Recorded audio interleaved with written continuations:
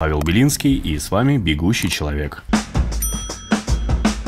Эквадорец сменил пол, чтобы получить опеку над детьми. 47-летний Рене Силинас Рамос теперь числится женщиной в официальных документах в своем родном Эквадоре, несмотря на то, что в повседневной жизни он по-прежнему идентифицирует себя как цисгендерный мужчина и ничего себе не отрезал, отчаявшийся отец принял такое радикальное решение из-за системы правосудия в его стране, которая в делах об опеке над детьми обычно отдает предпочтение матерям. Быть отцом в этой стране, Эквадоре, наказуемо, и я рассматриваюсь только как кормилец, сказал Рамос. Он утверждает, что Две его дочери в настоящее время живут в жестком окружении со своей матерью, и он не видел их более пяти месяцев. Законы говорят, что право имеет только женщина. На данный момент я женщина. Теперь я еще и мать. Вот кем я себя сейчас считаю, заявил Рамос. Действия Рамоса возмутили ЛГБТ-активистов по всей стране. По их словам, они боролись за то, чтобы закон о смене пола был изменен для настоящих транссексуалов, а Рамос извратил всю его суть. Между тем, борьба за опекунство между отцом и его бывшей женой продолжается по сей день. Ненадежных клиентов российских банков будут отправлять на фронт. Пишут, что глава Центробанка России Эльвира Наибулина разослала учреждениям письмо с требованием вручать повестки клиентов, не оплачивающих счета. Американские врачи подвели итоги года и рассказали, какие предметы нашли в разных отверстиях своих пациентов. В пенисе чаще всего находят ключи от машины, деревянные ложки, гвозди, карандаши и бусины. Во влагалище монетки, точилки, отвертки и мячи для гольфа. Попах пластиковые рыбки, пластиковые птички, флаконы детского лосьона, карандаши, снаряды Первой мировой войны тоже есть в списке. Китай следит за британскими дипломатами. В одном из автомобилей, которые используют члены правительства Великобритании высокопоставленные дипломаты, нашли передающие данные о своих координатах устройства. Сотрудники британской контрразведки заявили, что машины тщательно проверяли и разобрали по винтику из-за растущих опасений Великобритании по вопросу шпионажа. В итоге обнаружили устройство, которое передает свое местоположение. Об этом сообщает газета со ссылкой на источники в спецслужбах страны. Рухнувшая печь убила пенсионерку в Омске. 90-летняя женщина под обломками отравилась угарным газом. Предварительно причиной обрушения печи в частном доме по улице 18 линия стал перекал источника тепла. СМИ сообщают, что женщину завалило обломками и она не смогла выбраться, умерев на месте. Следователи проводят проверку по факту гибели, но замерзают все равно европейцы, а топят у нас дома печью. Очень скрепно, господа.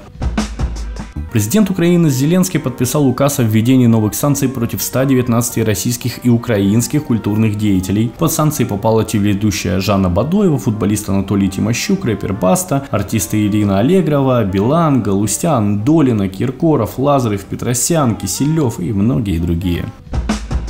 Состояние кошки Тейлор Свифт оценивается в 97 миллионов долларов. Кошка певицы зарабатывает такие же внушительные суммы, как и ее хозяйка. Стало известно, что состояние питомца певицы оценивается в 97 миллионов долларов. Эту сумму Оливия Бенсон заработала участием в клипах Тейлор, собственной сувенирной продукции, в съемках в рекламе и популярных продуктов. Эта кошка зарабатывает больше, чем все мы вместе взятые.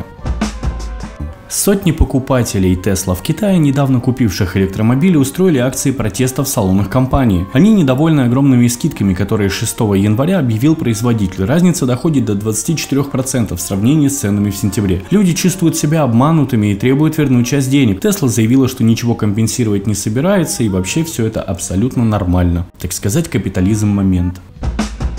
Лукашенко заявил, что пришло время властям и обществу сделать шаг навстречу людям, которые уехали из Беларуси. Но этот жест доброй воли будет сделан не в угоду Западу и будет по-настоящему, по-православному, если мы этот шаг навстречу сделаем. Я уверен, что среди сбежавших люди, которые поняли, что ошиблись, они не должны быть выброшены на обочину.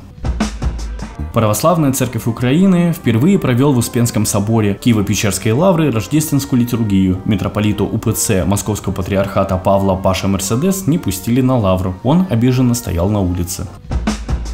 Число сторонников движения «Арестантское уголовное единство», запрещенное в России, резко увеличилось в прошлом году по сравнению с 2021 годом. Правоохранительные органы отметили, что в 2022 году на постоянной основе проводились мероприятия, направленные на выявление и пресечение деятельности международного экстремистского движения АУЕ. Однако, если в 2021 году количество таких дел немного превысило 30, то в прошлом году достигло почти 100. Автомобиль насмерть сбил бывшего председателя правительства Дагестана Магомеда Абдулаева Махачкале. ДТП произошло на улице Магомеда Гаджиева. 55-летний водитель Нивы сбил пешехода, проходящего дорогу в неположенном месте. 61-летнего Магомеда Абдулаева госпитализировали, но травмы оказались слишком тяжелыми и спасти его не удалось. Решается проблема о возбуждении уголовного дела. Если вам понравился подкаст, ставьте лайк, подписывайтесь на канал, додавите на колокол, чтобы не пропустить выход новых видео и подкастов и поддерживайте канал рублем. Все ссылки в описании. Спасибо, до скорого ролика.